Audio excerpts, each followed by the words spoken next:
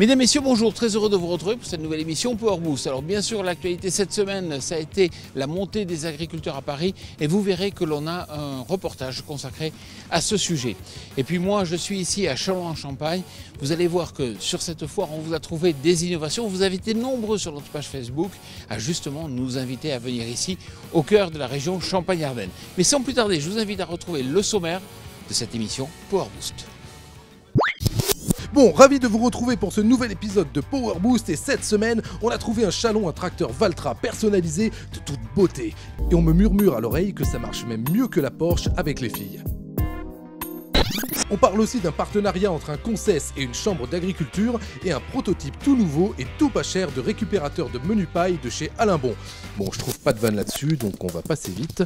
Oh, mais ce n'est pas tout, car comme vous l'a dit Jean-Paul, Pour l'actualité cette semaine, ça a été la montée des agriculteurs à Paris. L'on a un reportage consacré à ce sujet. et enfin, cap sur la région centre à la rencontre d'un agriculteur multiplicateur. Mais avant ce programme alléchant, place aux news, top départ.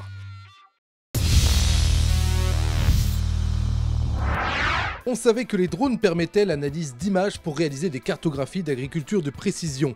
Il semblerait qu'on voit apparaître désormais des sociétés qui pourront embarquer certes des capteurs du même type, mais aussi du matériel plus lourd.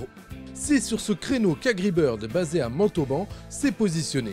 L'activité de cette entreprise repose sur l'épandage aérien, notamment de macro-organismes de biocontrôle à partir de drones. Le drone Agribird peut ainsi épandre des trichogrammes pour lutter contre la pyrale du maïs. Le prix de ce matériel, vendu prêt à voler, se situe autour des 40 000 euros. Vous allez voir, je vous ai trouvé pour débuter un tracteur vraiment exceptionnel. Peut-être vous l'avez vu dans le cas du cinéma. Suivez-moi.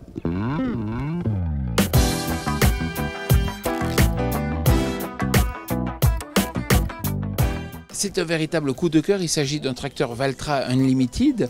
Alors, ce champenois qu'elle a fait l'acquisition a voulu une finition très aboutie, puisqu'on a une sellerie cuir très très belle. Même le siège passager, vous voyez, très confortable et très bien euh, fini. Et puis, la couleur, c'est une couleur bien sûr livrée champagne. Coût de l'option 12 000 euros. Voilà, à présent, on va mettre le cap sur la région centre. Vous le savez, il y a des agriculteurs qui ont fait de très bons résultats, de très bons rendements. Justement, on va aller à la rencontre de l'un d'entre eux.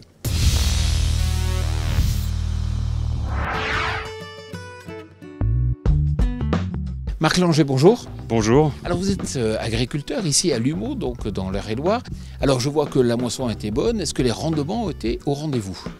Ah oui, cette année, euh, c'était même surprenant. On fait une, une bonne récolte, voire une très bonne récolte. Quelles sont les cultures que vous avez sur votre exploitation? Bah, blé dur et puis euh, blé améliorant. Et ensuite, euh, beaucoup de cultures de semences, potagères, betteraves, euh, seigle hybride. Et quand on regarde un peu, cette année a été quand même une année un peu compliquée sur le plan climatique, mais au final, les rendements sont plutôt au rendez-vous? Oui, cette année, on, on aurait pu craindre le pire avec euh, la sécheresse de juin et de fin mai. Mais bon, on s'en sort bien. Tout le monde été agréablement surpris. Est-ce qu'il faut voir là, quelque part, l'expression du progrès génétique? Sans doute euh, en blé dur, sans doute, parce que les nouvelles variétés semblent euh, un peu au-dessus, donc euh, je pense que oui, euh, en partie. Et concrètement, vous faites appel à de la semence certifiée. Pourquoi et comment? Pourquoi? Parce que d'un point de vue déjà qualitatif, on est sûr à peu près de la germination, les poids de migrains sont, ré- sont réguliers. Et puis euh, ça permet d'avoir accès aux nouveautés euh, directement. On profite du progrès génétique, donc des rendements souvent euh, meilleurs. Et, et puis le traitement de semences est souvent de très bonne qualité. Et puis vous faites aussi des blés améliorants. Alors là, est-ce que les rendements ont été bons? Oui, les rendements sont plus que corrects puisqu'on fait peut-être 7-8 quintaux de plus que d'habitude, donc euh, des rendements très très bons. Marc Langer, quel type de conditionnement adoptez-vous? On utilise euh, la plupart du temps des big bags euh, vu la praticité de ces conditionnements. Les parcelles sont assez groupées euh, autour de la ferme, donc on, on utilise un télescopique qui assure le ravitaillement. On charge le matin, on ravitaille le midi et on ravitaille euh, aussi le soir au télescopique. Marc Langer, merci beaucoup. Pas de rien.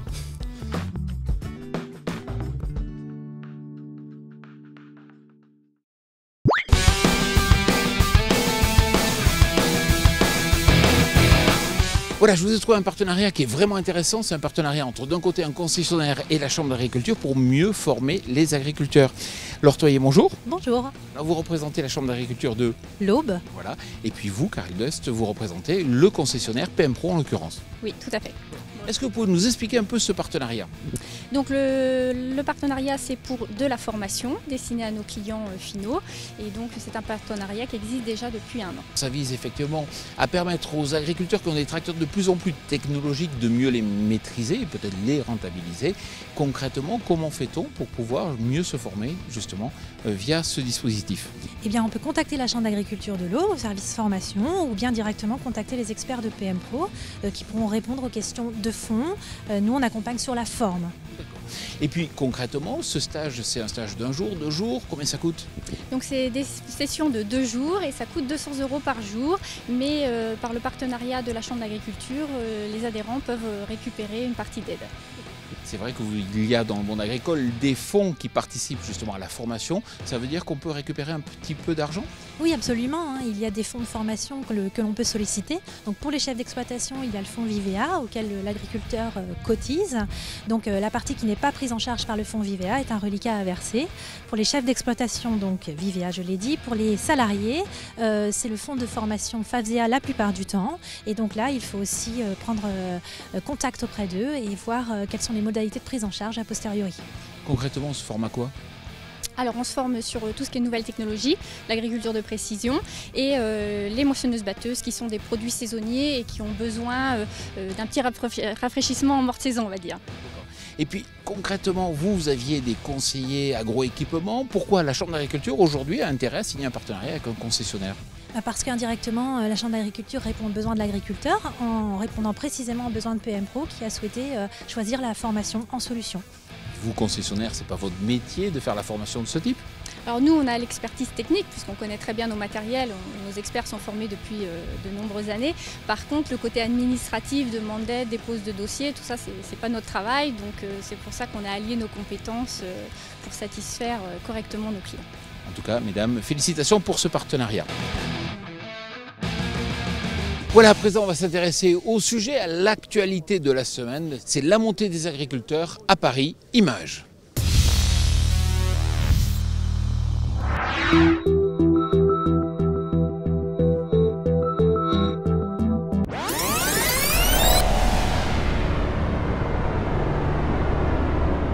Mercredi 2 septembre 2015 au soir. Ces agriculteurs se préparent pour un trajet inhabituel. Le lendemain, ils vont rejoindre des centaines d'autres agriculteurs à Coutrevoux pour monter jusqu'à Paris en tracteur. Pour nous, c'était d'être présent, d'être monté en tracteur, pour montrer la, force de l'agriculture, montrer notre volonté de nous en sortir. C'est primordial pour la- l'avenir des générations, pour le maintien de l'activité sur tous les territoires de France. On aimerait avoir de vraies réponses euh, sur le prix. Euh, c'est vraiment la revendication de demain, c'est du prix et moins de normes. On va se mobiliser à Paris. Euh, c'est plus de 1000 tracteurs, plus de 5000 agriculteurs qui, qui seront présents pour, euh, ben, pour euh, montrer la situation de détresse de notre profession. Ce qu'on attend aujourd'hui, c'est aussi un- une confiance réattribuée à la, à la profession. Aujourd'hui, on a vraiment besoin euh, de sentir que, que l'ensemble du gouvernement, que l'ensemble des politiques refait confiance à ces agriculteurs. On se mobilise aussi pour dire que ben, y a encore des jeunes qui, euh, qui souhaitent faire leur parcours de vie en agriculture et qu'on souhaite avoir des perspectives dans nos filières. On sait qu'il y a un vrai enjeu économique à ce qu'il y ait une meilleure prise en compte de nos coûts de production sur nos exploitations. Les agriculteurs, le premier maillon de la filière, doit aussi pouvoir vivre de son métier.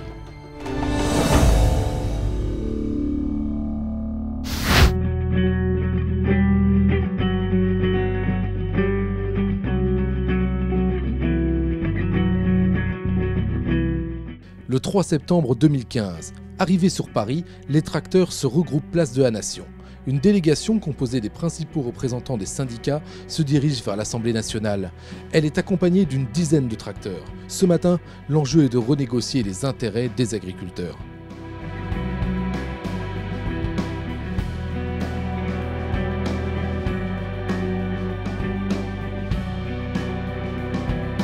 Le dialogue se conclut en début d'après-midi sur des promesses du gouvernement.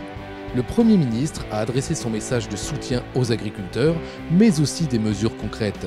Il est question notamment d'une aide de 3 milliards d'euros étalée sur 3 ans, ainsi que du projet d'une année blanche pour le remboursement des dettes bancaires des agriculteurs. Ces annonces ne semblent pas suffisantes aux yeux des syndicats. Le combat n'est probablement pas terminé.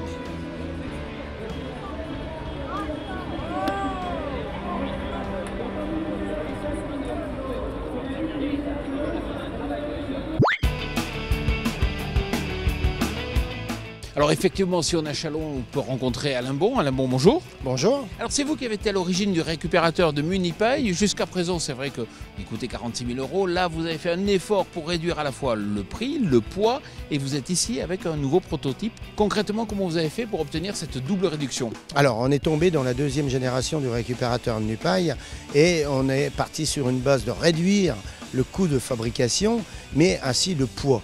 Oui, le poids, on est sur une base de 24 mètres cubes et lorsqu'on est chargé, on prend tout de suite 1400 kg. Donc là, on est en dessous de 1000 kg. Bon, le récupérateur, tout le monde le sait, les résultats sont tombés. Euh, réduction des pesticides, réduction des avantices dans les champs. Merci beaucoup. Merci beaucoup. À présent, on va s'intéresser au permis de conduire des tracteurs. Effectivement, vous allez voir, la réglementation évolue très rapidement. La nouvelle réglementation portant sur la conduite des tracteurs va-t-elle déjà être mise à défaut? Avant toute chose, un petit rappel. En France, toute personne titulaire du permis B est autorisée à conduire un véhicule agricole tant que sa vitesse n'excède pas 40 km/h. A noter qu'une dérogation permet même aux agriculteurs, et notamment aux plus jeunes à partir de 16 ans, de continuer à conduire les machines agricoles de leur exploitation sans permis. Mais une directive européenne autorisera à partir du 1er janvier la conduite d'un tracteur à 50 ou 60 km/h. Or, aucun texte national ne spécifie de permis autorisant à conduire à cette vitesse. Alors ça pose tout plein de questions. Est-ce qu'un adolescent de 16 ans pourra conduire un attelage à cette vitesse sans permis du moment que le tracteur est rattaché à une ferme? Va-t-on exiger le permis B pour tous? Une chose est sûre, Maintenir un flou pourrait nuire gravement à l'image d'un monde agricole jugé responsable en cas d'accident grave et médiatisé. Pour ouvrir la réflexion, un groupe de travail devrait être activé cet automne.